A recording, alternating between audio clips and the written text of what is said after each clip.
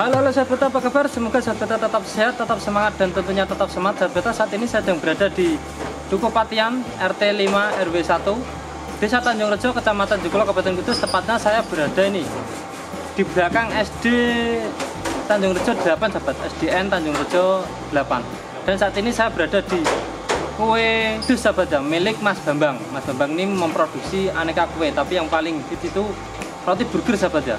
Kita akan melihat proses pembuatannya dari dekat dan selalu teman saya. Let's go.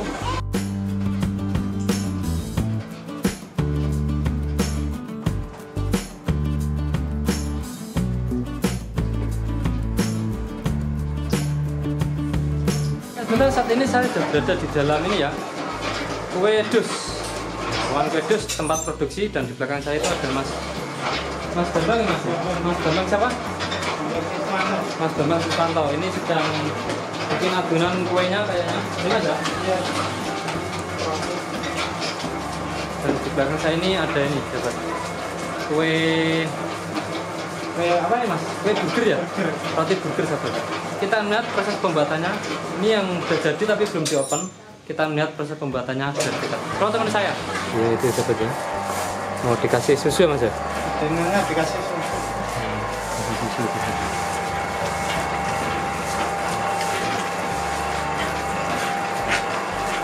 berapa banyak mas kira-kira? Satu kilonya 200 200 apa? 200 mili. 200 mili ya? Iya. Ini bahan tepungnya. Tepung apa nih mas? Tepung buat khusus roti. Oh tepung berarti apa? Ya tepung terigu tepung terigu. Ini gula ya? Gula gula pasir ya? Gula pasir ya sahabat ya. Oh margarin. Margarin kuning satu kilonya 150 oh 100 satu kilonya tepung ini 100 150 gram. 150 gram. Ini itu diapain mas? Di kalau adonan ini sudah setengah kalis. Hmm, setengah kali sih setengah kalis itu keluar film pertama. Hmm. Berarti belum ini ya? Masih perlu di itu lagi.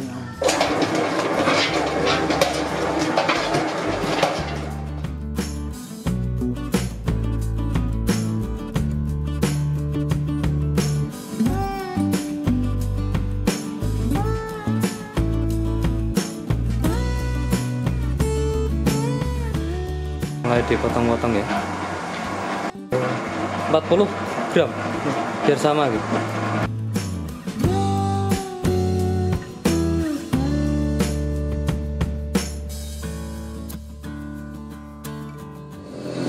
Mas ini tadi kan 4 kilo ya? Iya. Ini kalau dijadiin burger ini jadi berapa biji?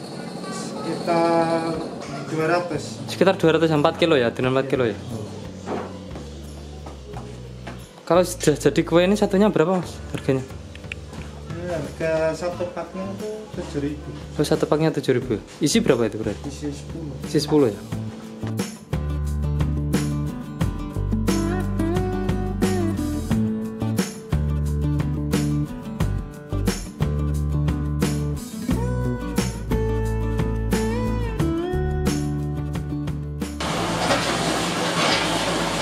Ini kenapa mas? Kok harus disemprot? Buat nambelin meja Oh, mau dikasih wijen ya?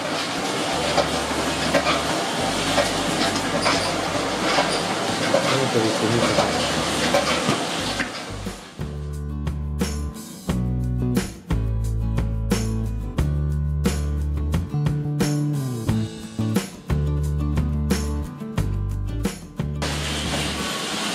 ini burger yang ini, ini burger yang ini? Oh, oke.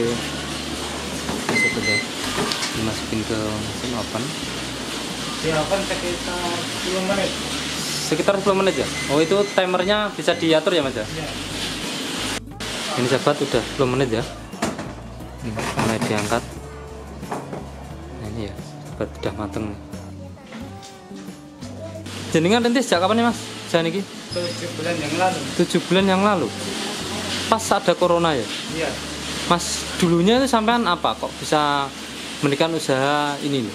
ya di Bekasi kerja di roti juga Oh, berapa lama di Bekasi? Di Bekasi kurang lebih lima tahun. Lima tahun. Hmm. Terus pulang kampung ke Kudus. Pulang kampung Kudus. Itu langsung pulang kampung Kudus. Kerja dulu atau gimana? Ya masih kerja Kerja di mana? Di salah satu bakery di Kudus. Oh, kenapa mas kok milih pulang kampung? Di sana kan juga juga kerja di perusahaan roti juga kan? Iya.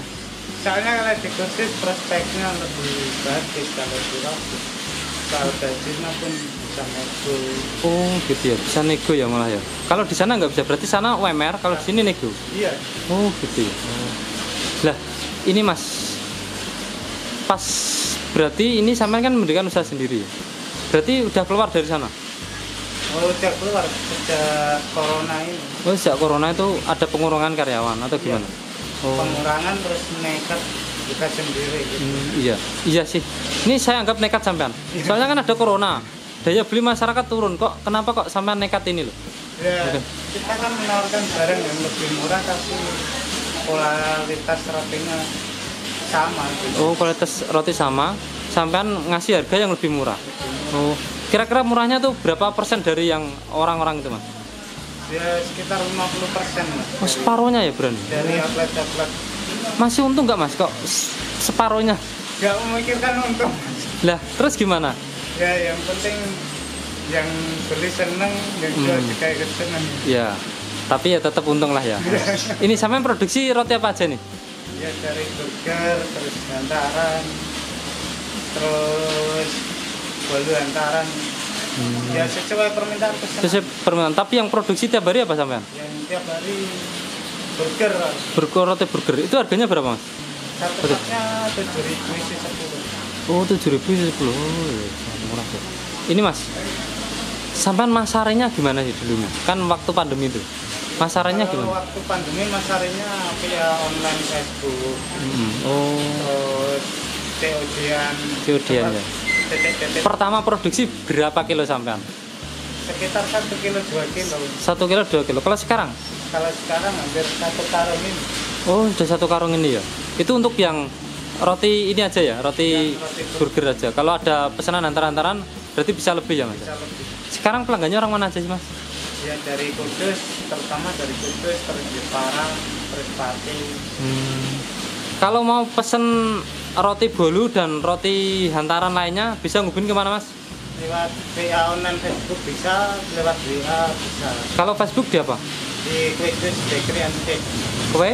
Kudus Bakery and And cake. Oh, kalau nomor WA-nya berapa mas? 085 740 624 597. Ini adalah kue roti roti apa mas?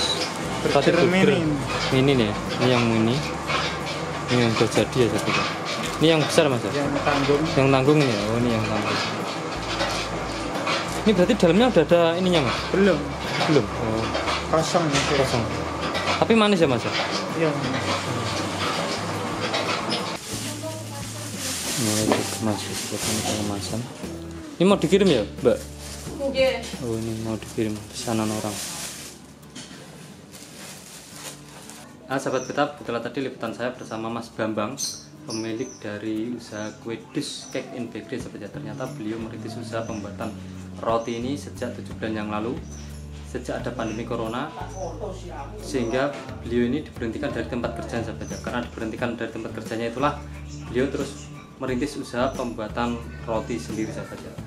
Termasuk nekat karena di masa pandemi itu ekonomi ekonomi serba sulit, daya beli masyarakat turun, tapi dia malah memutuskan untuk produksi roti sahabat ya. Dengan menawarkan harga yang lebih murah dan rasa yang tetap sama enaknya dari roti-roti yang lain. Dan ternyata memang benar. Dari yang produksi satu kilo pertamanya sekarang bisa satu karung sahabat ya.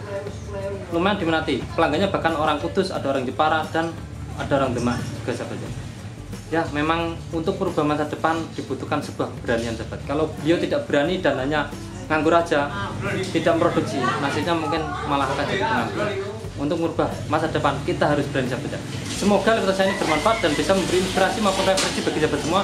Bila sahabat suka bisa di subscribe, like, dan komen. Dan selalu nantikan saya di video-video saya selanjutnya karena beta akan selalu memberi informasi yang unik, menarik, dan tentunya inspiratif bagi sahabat semua. Sampai jumpa.